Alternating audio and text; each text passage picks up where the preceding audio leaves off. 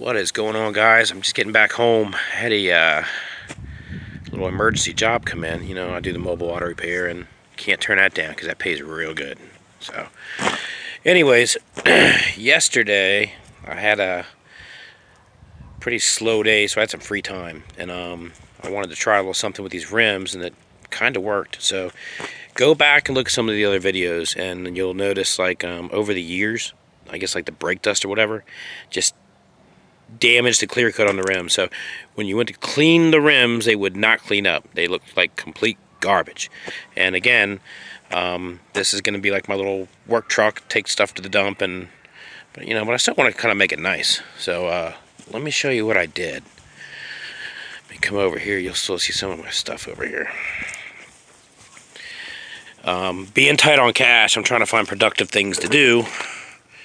And I had found this brand new bottle of this paint and epoxy remover. That's some toxic stuff. It gets on your skin, it burns like fire. Well, check this out. I went ahead and I took the rims off the truck and I put that epoxy or paint remover on and the clear coat just bubbled up and I mean it literally just fell right off. Now that's not the best looking rim but again look at the old videos they're like black and brown. And again, they wouldn't wash up. Uh, but man, after I put that stripper on there, check these things out. That don't look bad. I think if I can find me some uh, center caps, I'm not even going to go to the junkyard. Uh, I found some on Amazon. I think I get some center caps on there. It's not going to be that bad looking of a of a rim. And uh, you know, I'll tell you what else I'm thinking about doing after I do my lettering and everything down the side.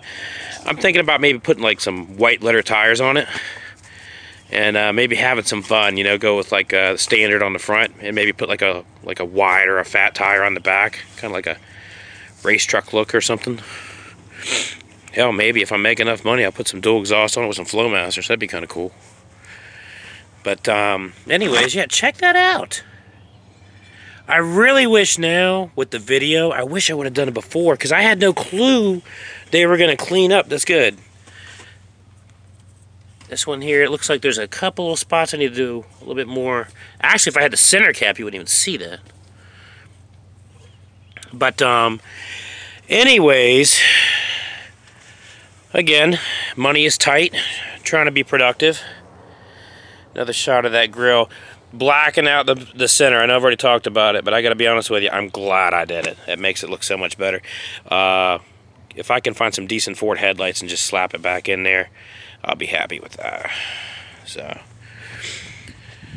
but with that said, I'm going to try to have a better month next month financially, and that'll give me some more money to get some more stuff done. I want to put a diamond plate toolbox in the back and um, again the visors around the windows I want to get all that done. But uh, yeah kind of a boring video sorry about that. But overall those rims look so much better. So if you've got an older truck like this and you got the aluminum mags and they just look like crap you can try what I did. Get uh, some good old-fashioned aircraft stripper um, and it's got to be the thick stuff like the gel paint it on there with a paintbrush. Not so bad. And there's my dog.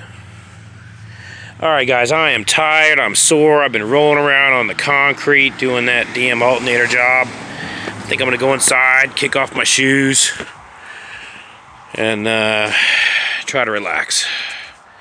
So, you guys have a good one. More videos to come and maybe not boring like this one, so... Y'all take it easy.